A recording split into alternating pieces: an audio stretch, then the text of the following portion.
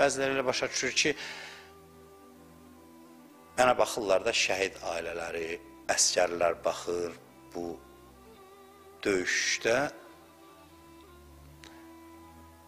belə deyək, Azərbaycan tarixində heç zaman bu ordunun, əskərlərin, şəhidlərin heç zaman xidməti unudulmayacaq. Buna tam əminəm mən. Heç zaman. Bu, insanların qarşısında baş əyirəm. O çətin şəraitdə canlarını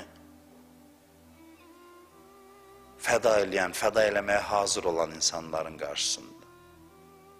Və mən bütün danışdığım söhbətləri bu cümlələrdə onların ruhuna, şəhidlərin ruhuna ithaf eləyirəm, hədiyə eləyirəm. Şəhidlik bu deyil ki, həyat dalana dirəndə alınmadı mənim ki. Gedim, o dünyam olsun heç olmasa.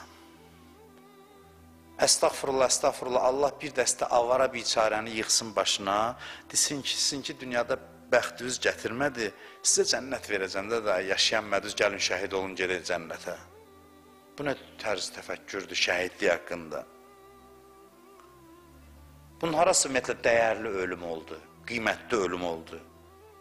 Xeyr, əksinə həyatı uğurlu olan, qalsaydı hamıdan daha keyfiyyətli yaşayan, həyatın qədrini bilən insanların seçimidir şəhadət. Şəhadət bunlara qismət olur, şəhadət bunların seçimidir. Ona görə deyirlər, Allah yaxşıları aparır. Yaxşıları aparır, mən artıq təcrübədən keçirdirəm bu şəhid məclislərində. Çox mənə xeyri oldu bir insan kimi. Oxuduqlarımı, neçə il danışdıqlarımı təcrübədə görürəm. Gedirsən evlərinə, ailələrinə, qohumu, əqrəbası, dostu, tanışı danışır. Görürsən ki, Allah, bunlar harda formalaşdılar belə?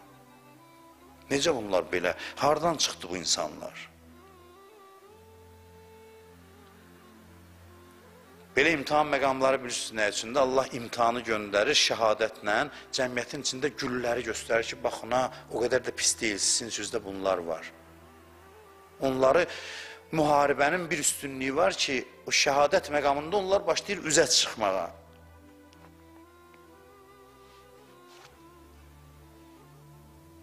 Əli Əkbər şəhid olandan sonra deyir, və aləd dünya bə'dəkəl əfa, yəni dünya həyatı sənsiz da dəyər yox. Sən deməli daha çox layiq idin yaşamağa, hamıdan daha çox.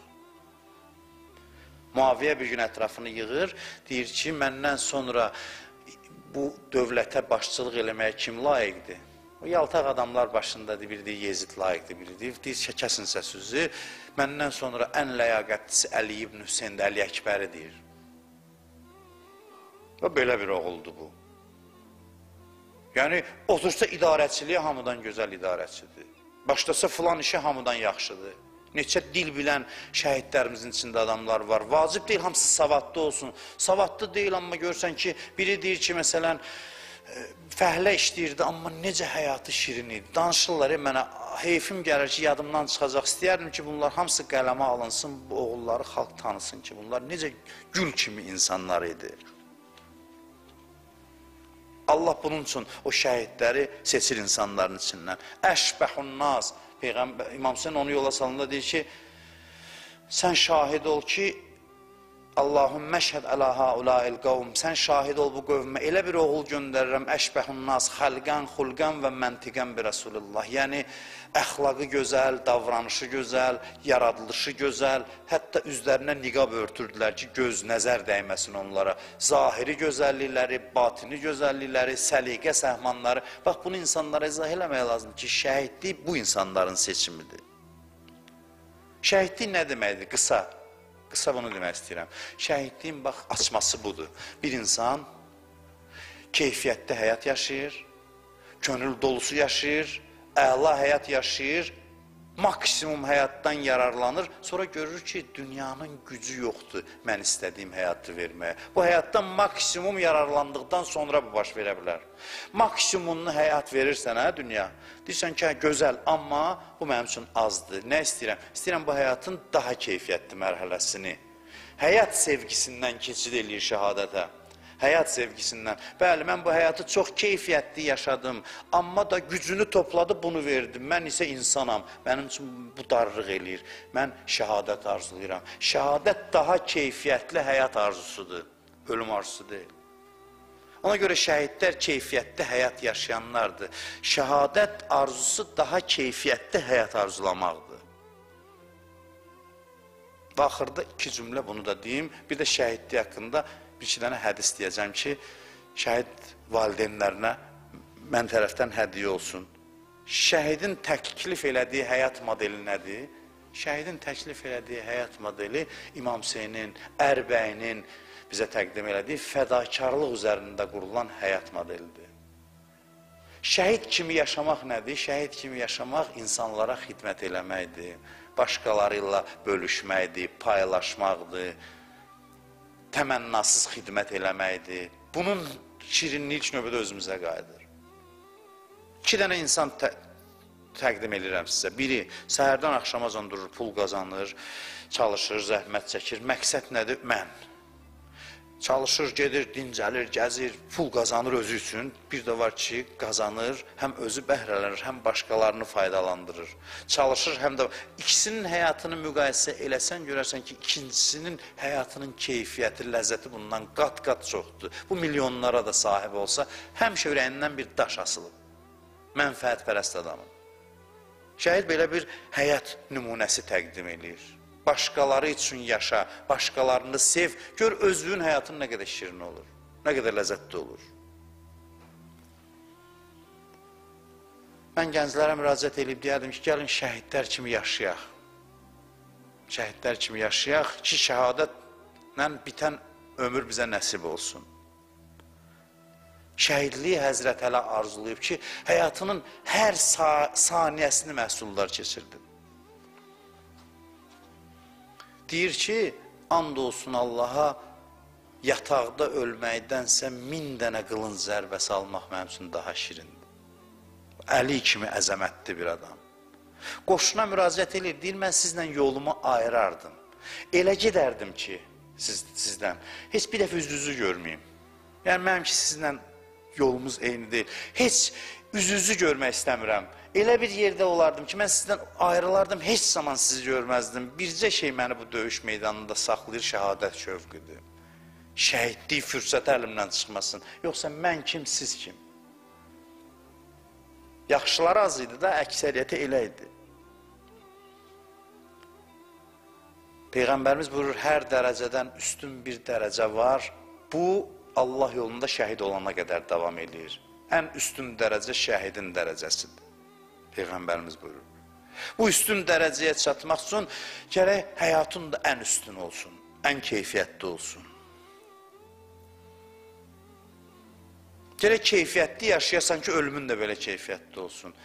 Şəhid ailələrinə təsəlli sözündən xoşum gəlmir. Bəşarət kimi bu sözlər deyirəm. Təsəllini bədbəxt adama verərlər. Şəhid ailəsi bədbəxt deyil ki, ona təsəlli verəsən.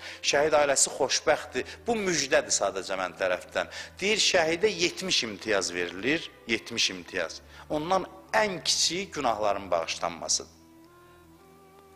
Deyir, şəhidin günahları bağışlanar, elə bilir ki, böyük bir şeydir. Allah deyir, 70 dənə imtiyazı var, özünüz görəcəksiniz şəhidlərə nələr verəcəm. Allah bilir ancaq. Onun ən kiçiyi birincisi budur ki, qanı tökülən kimi günahı bağışlanır. Hələ say sonra 70-ini. 70 də bəzən kəsrət mənasındadır. Yəni çox, 70-dən də çox. Sadəcə 70 çoxluğu bildirir. 70 dənə imtiyazı var. Birincisi budur ki, günahları tam təmizlənir, pak gedir Allahın görüşünə. İndi o 70 nədir? Nələr, nə aləmlər hazırlayıb Allah onu qiyamətdə ancaq bəlkə şəhidlər biləcək, o birilərlə qibtə ilə dayanıb baxacaq onların halına. Qibtə eləyəcəklər.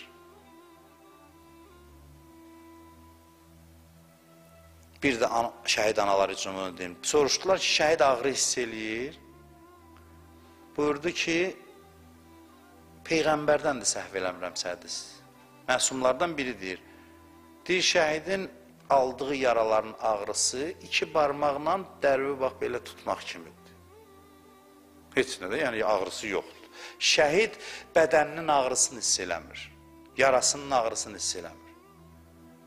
Belə dünyadan köçmək yaxşıdır, yoxsa istirab içində hansısa bir xəstəlikdən?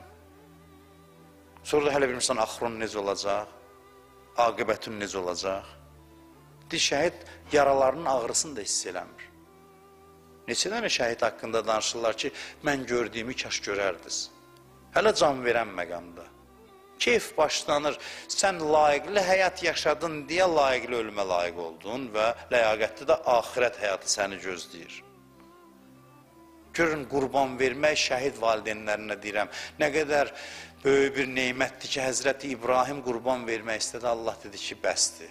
Ağladı Həzrəti İbrahim. Dedi, niyə mənim oğlum haqq yolunda doğranmadı?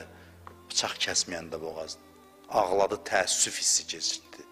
İbrahim dedi ki, kaş oğlum Allah yolunda qurban gedə. Bu Peyğəmbərin arzusudursa, görün şəhid ailələrinin, ata-analarının məqamı nə qədərdir ki, Allah onları layiq bilib, onlardan qurban qəbul eləyib.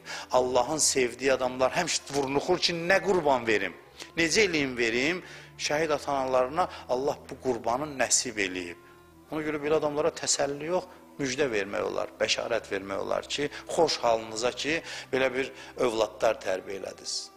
Mən bilirəm ki, onlar məni dinləyir deyə, təkcə onlara yox, bu bütün xalqımıza aiddir ki, onların qədrini bilək. Həm şəhidlərin, həm şəhid ailələrinin, həm əskərlərimizin, onlar bizim başımızı uca elədilər. Onlar öz qanları ilə xalqa keyfiyyətli həyat bağışladılar. İndi bu xalq o işğaldan azad olan torpaqlarda nə qədər keyfiyyətli həyat qursa, bir o qədər ruhları şaddır onların.